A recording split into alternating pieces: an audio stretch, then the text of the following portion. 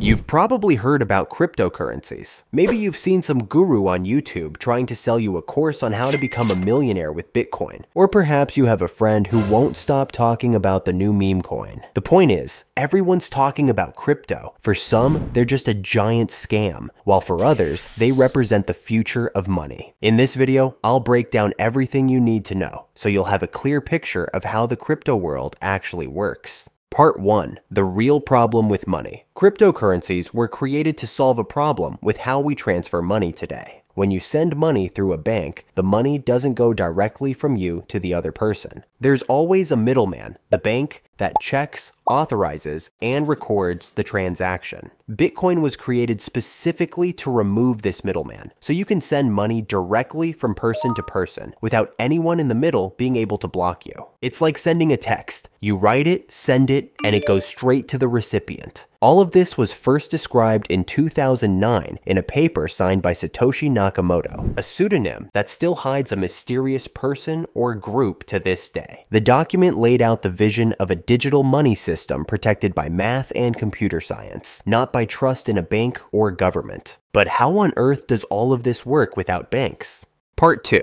How does cryptocurrency work? To make this system work without intermediaries, crypto uses a technology called blockchain. The name sounds complicated, but the idea is actually very simple if you picture it the right way. Think of a shared Google Doc where everyone has the exact same copy and can see every transaction in real time. If you send one Bitcoin to your friend, that transaction gets broadcast to thousands of computers around the world. All these computers check it together, and if everything looks good, they add it to their own personal record. If you try to change it, your copy no longer matches everyone else's, and the network instantly catches you and kicks you out of the game. Each Google Doc is like a block in the blockchain, and that brings us to the chain part of blockchain. When this block is full, it gets added to the long chain of previous blocks. Every block is linked to the one before it with a unique code, so changing even a single transaction that's already recorded would mean rewriting every block that comes after it.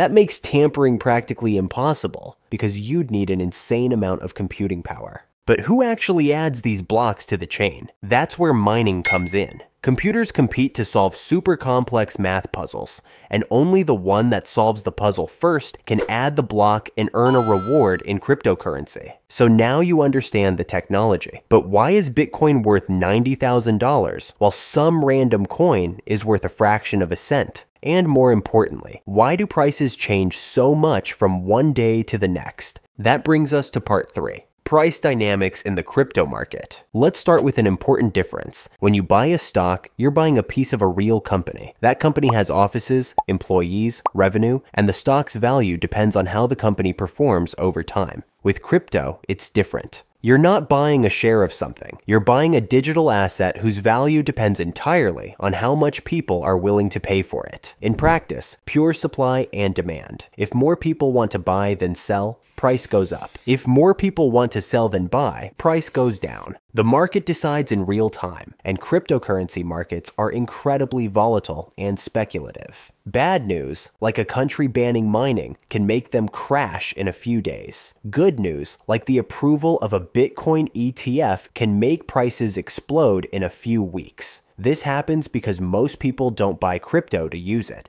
but to speculate. They buy hoping nice. the price will go up, and they sell as soon as they're afraid it'll drop. Let me give you some numbers so you understand what we're talking about. Bitcoin in 2016 was worth around $500. In November 2021, it hit $69,000. Anyone who held on for five years saw a 13,700% gain. But the story doesn't end there. From that peak of $69,000, Bitcoin crashed to $16,000 in just 12 months, a 77% loss. This is what is meant by volatility. The stock market swings on average 15% a year. Bitcoin swings 60%, four times as much. Part 4 Types of Crypto. Not all cryptos are the same. Bitcoin is considered digital gold. It was the first cryptocurrency and has the strongest network security. People don't really use Bitcoin to buy a pizza, although back in 2010, yes, a pretty expensive pizza. Today, Bitcoin is used as a store of value. It has a fixed supply of 21 million coins that will ever exist. To date, about 19 million have been created, so only 2 million remain to be mined over the coming decades. No one can change this limit, even if they wanted to, because it's written into the very code that governs the network. Then there are altcoins, created to solve specific problems or offer features that Bitcoin doesn't have. For example, Solana aims to be super fast with transactions. These projects can have great potential, but they're also riskier than Bitcoin because they're often younger and less established. Stablecoins, on the other hand, are designed to eliminate the volatility typical of traditional crypto by pegging their value to a reference asset, like the US dollar and the euro. Tether, which is the largest stablecoin by market cap, works like this. For every coin that exists, there should be a real dollar in a bank somewhere. In theory, they always maintain a one to one value, but not all stablecoins are created equal. Terra and Luna, for example, were algorithmic stablecoins that collapsed spectacularly, wiping out $40 billion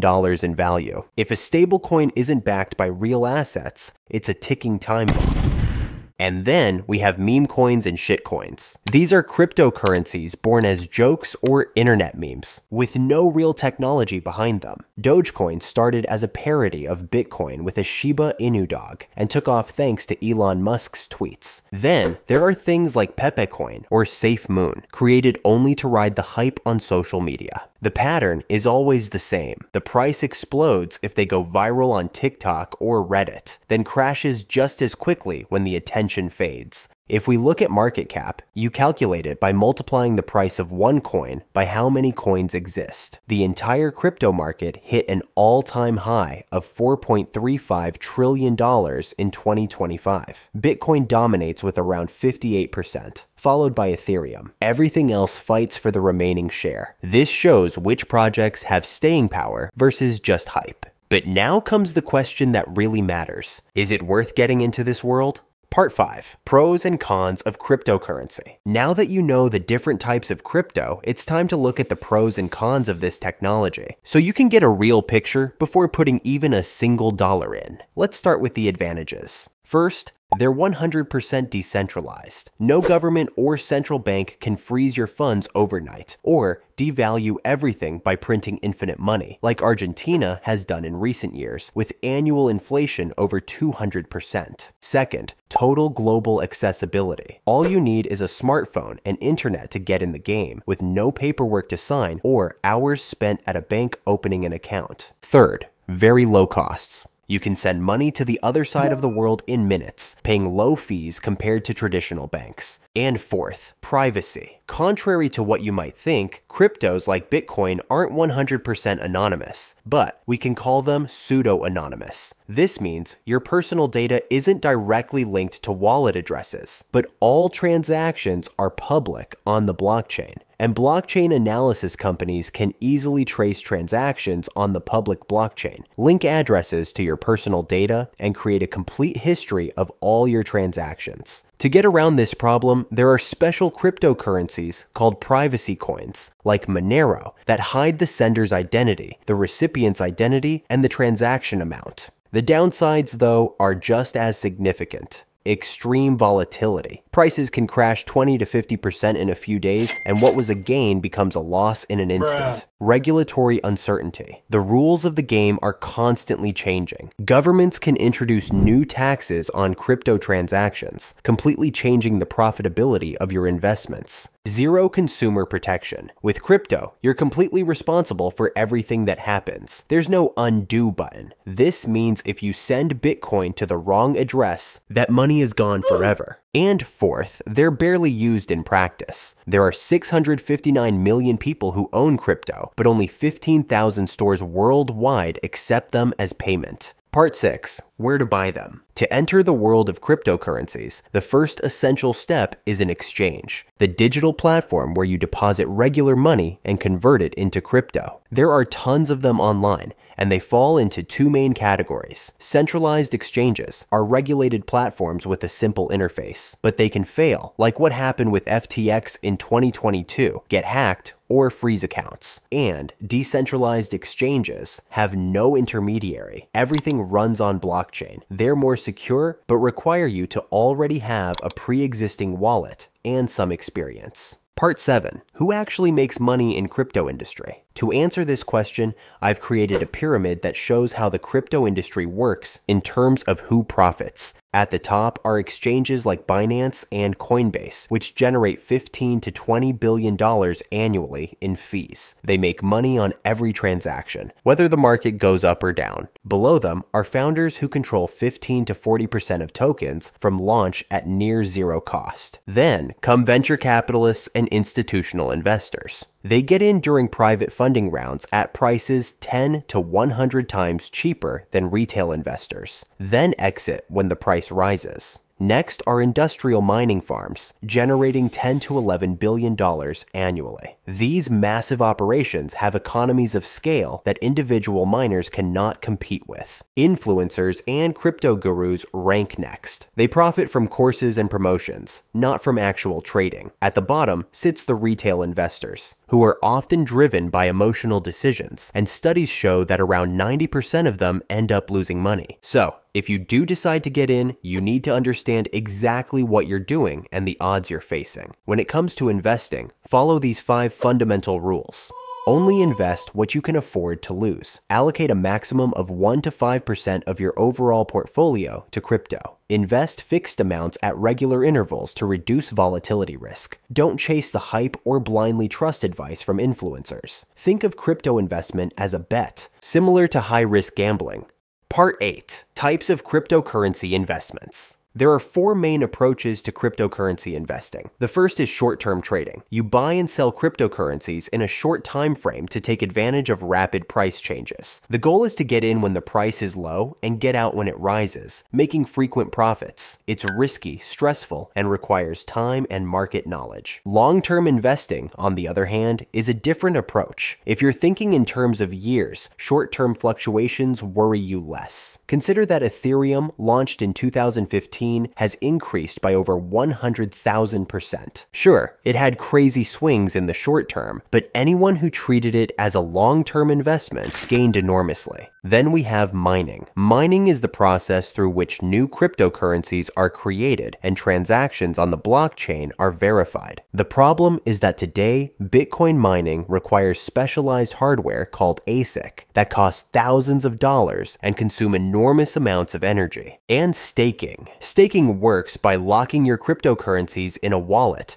to support the security of the blockchain network. In return, you receive periodic rewards depending on the crypto you choose choose. Whatever the method, the risk of losing capital is high. I'm telling you this because I've lost money too. Plus, Keep in mind that the crypto space is full of scammers because it's largely unregulated and irreversible transactions make it a perfect hunting ground. So if someone promises you high or guaranteed returns, tries to create artificial urgency to push you to buy, or if you discover that the founders control the majority of tokens, it's probably a scam. Avoid throwing away money, trust me. Part 9 Wallets and Security. When you move from theory to actually holding crypto, the wallet becomes the most important thing you need to understand. But what does it actually mean to have a crypto wallet? A wallet is a device that allows you to keep safe the cryptographic keys to access and control your funds on the blockchain. The first key is the public key, which works like your bank account number that you share to receive money, and the private key, which is your secret password and needs to be protected like treasure. There are two main types of wallets. Hot wallets, meaning online, very convenient and fast for trading with small amounts, but more exposed to hacking attempts, and cold wallets, physical devices like Ledger that cost a few dollars but offer maximum security because they stay offline.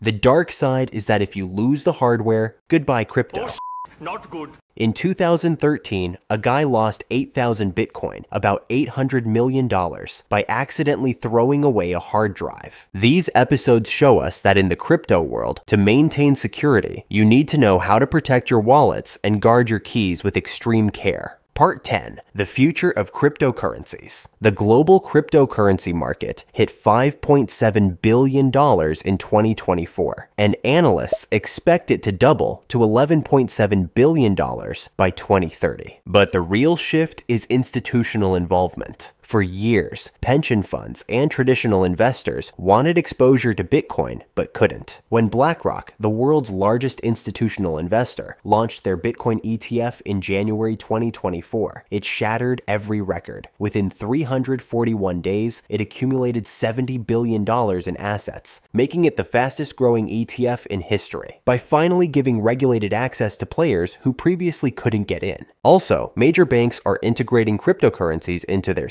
systems, suggesting the industry will continue evolving as a foundational layer of future finance. However, like any emerging asset, crypto remains volatile and carries risks. If you enjoyed this video, leave a like and let me know in the comments what you think about cryptocurrencies. Bye.